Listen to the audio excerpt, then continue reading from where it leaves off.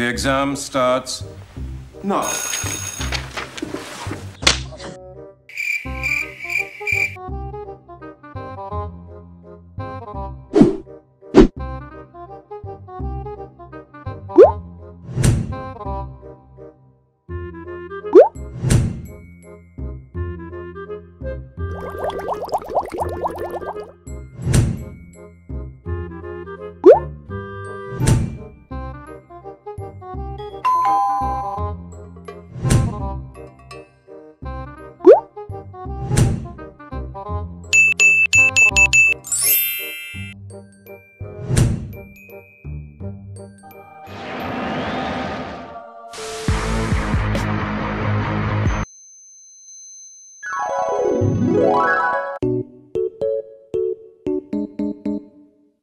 Bruh.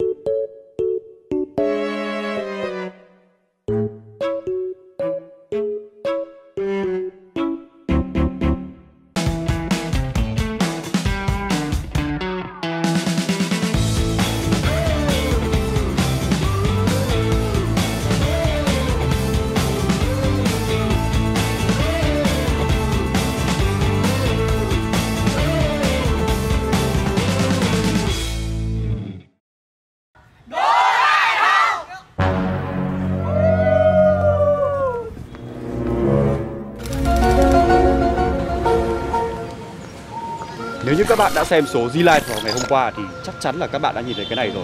Quả dưa hấu, vị thần mà các bạn học sinh đã lựa chọn để có được may mắn cho mình.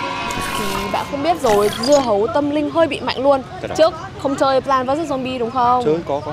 Thế mà không nhớ là dưa hấu đẩy tà hơi bị đỉnh luôn. Mà nhá, ngoài dưa hấu ra các bạn ấy còn có cả nồi thần nữa. Hơi bị chiến luôn đấy. Hay thực sự. Và đúng là trước mỗi kỳ thi thì ờ, các bạn sĩ tử có hai cái tâm mà chúng ta cần phải vững vàng. Một là tâm lý và hai là tâm linh. Nào hãy cùng hít thở thật sâu để chúng ta bước vào chủ đề hot search ngày hôm nay. Tâm, Tâm vững vững vàng.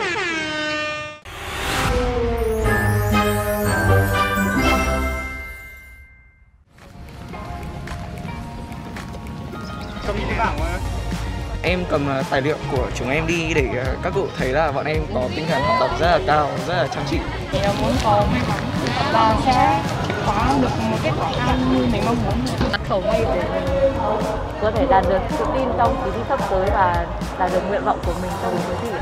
không cắt tóc rồi thì đến mấy hôm đấy thì không gội đầu để cho đỡ trôi kiến thức Dạ thắp hương mỗi ngày ạ. Tâm linh này cũng giúp được một phần à, tâm lý của mình thôi anh ạ. Còn đâu mình vẫn phải học thì mới làm được bài ấy.